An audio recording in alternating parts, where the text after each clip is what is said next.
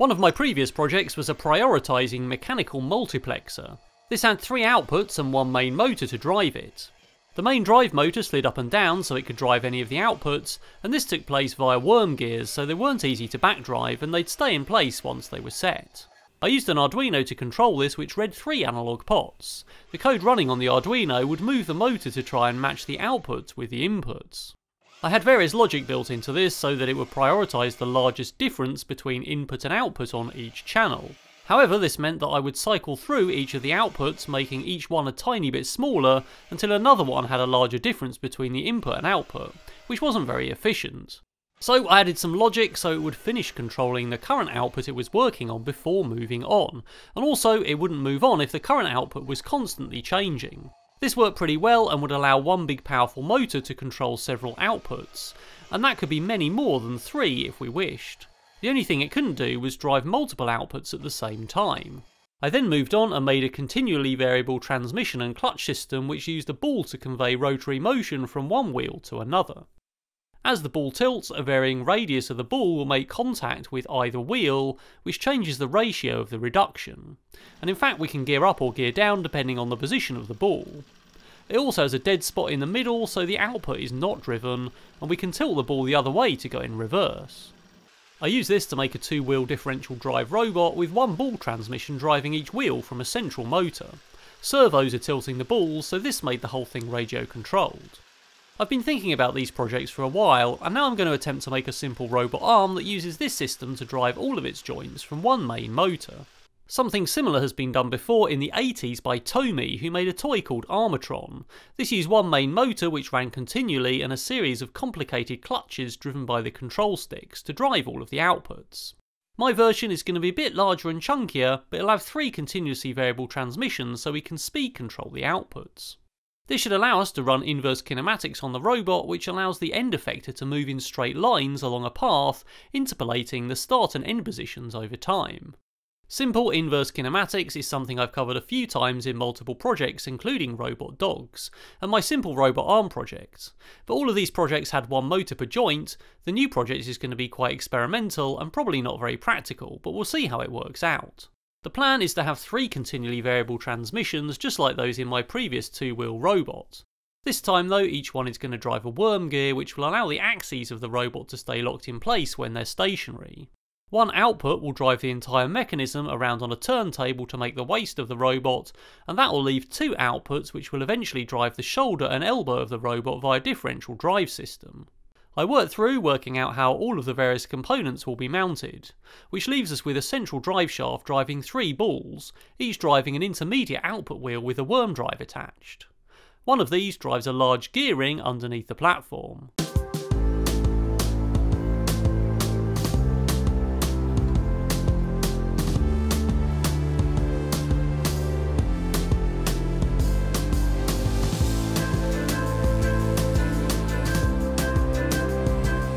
Just a quick ad from my 3D printing sponsor, thanks to LulzBot for supporting my channel with 3D printers.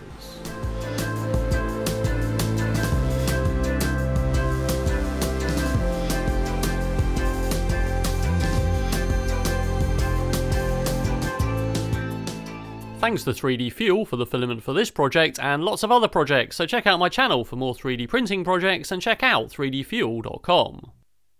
The main base of the robot's going to rotate round on a lazy Susan bearing which has two aluminium rings and ball bearings in between. So I've printed a base that's going to screw onto that and that's got some bearings to mount everything on. Fitted to the outside part is my ring gear printed in three parts that's going to make it drive all the way around. So that's going to run on a spur gear mounted in that bearing and I've also put some tabs in as well as bolting it to the ring just to hold everything aligned. I've used some washers as spacers just to hold that ring off the Lazy Susan so it doesn't rub on the inner ring and there's clearance so everything runs freely. I'm using the existing cycloidal drive reducer which was my second prototype to run this and that's the one that was previously running the previous CVT. So I've got a thing that bolts on the top here and that's going to be the main output. So that's bolted on to the bolts that run all the way through the cycloidal drive.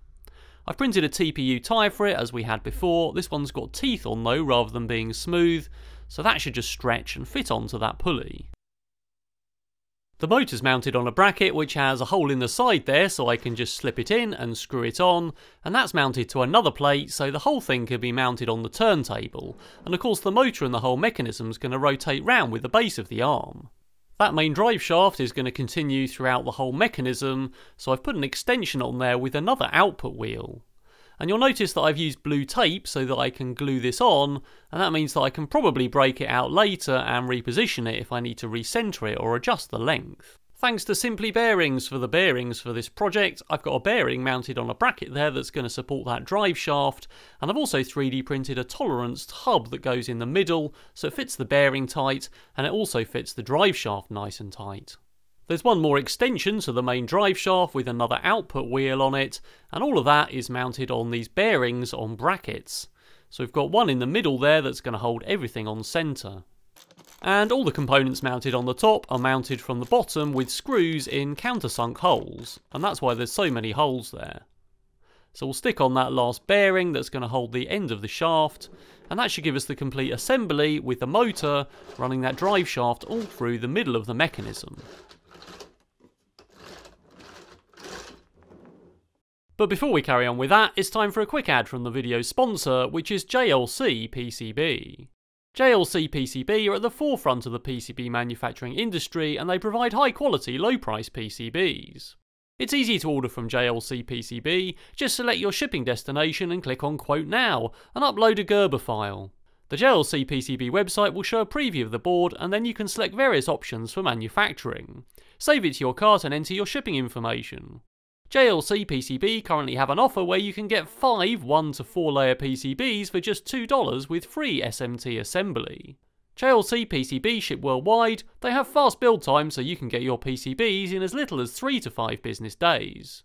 The JLC store also sells PCB coupons and offers free PCB designs and 3D designs. The ordering process is very easy at JLC PCB, so use the link in the description to this video to check it out now.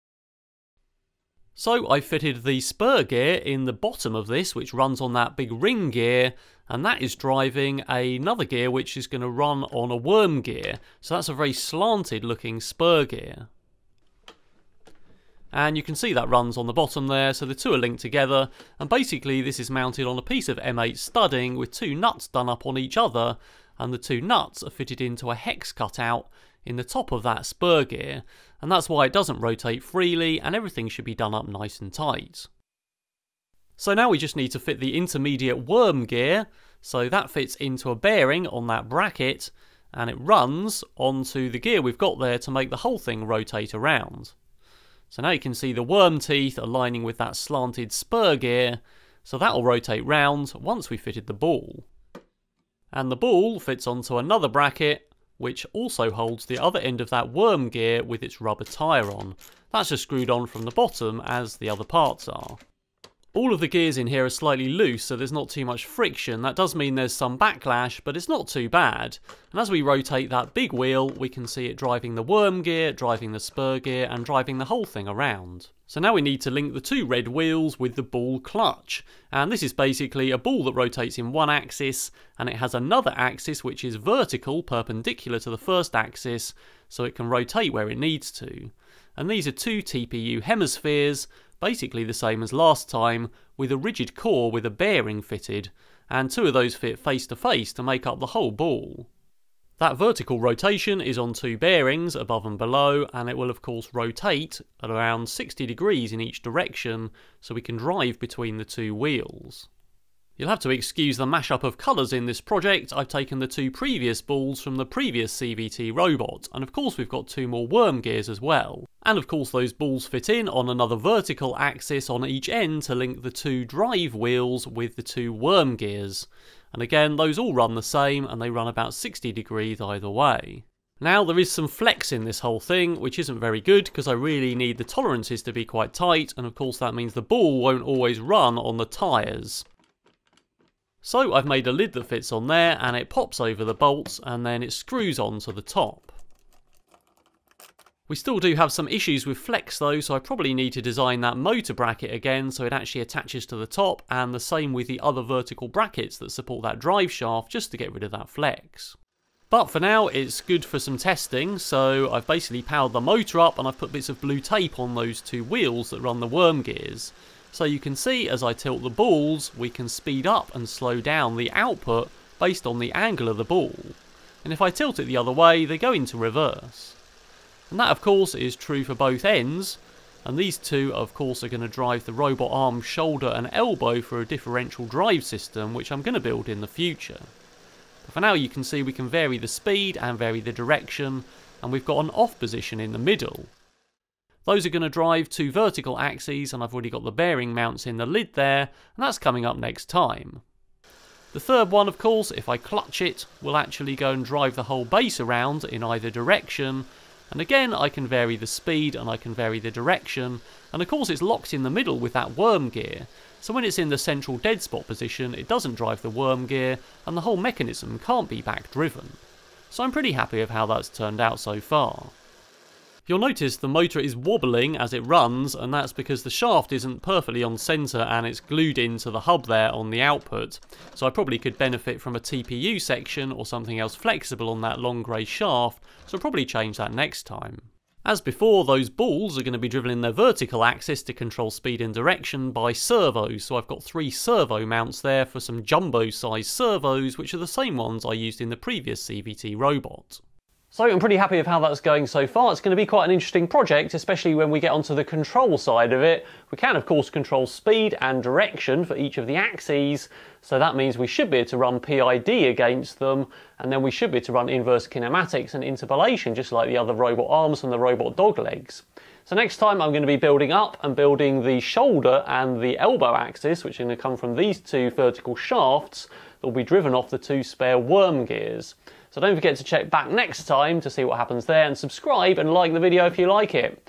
I will be publishing this eventually as open source, but I'm going to wait till I've actually got all of the issues sorted before I do that because it's quite a lot of printing. So if you'd like to support me through Patreon or YouTube channel membership, then those links are in the description below. And patrons and YouTube channel members can get access to all the videos up to a week early and also sneak peeks and pictures of what's coming up.